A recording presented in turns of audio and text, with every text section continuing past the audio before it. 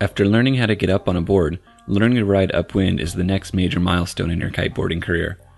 The most important parts of riding upwind are having enough power on your kite and having the correct body position while riding. After you get up and build speed, hold your kite about 45 to 60 degrees above the water and gradually increase pressure in your heels. Ride with your front leg straight and your back leg bent, keeping most of your weight on the back leg. Bring your shoulders back as you lean into your harness. Push your hips up towards the kite and avoid bending at the waist.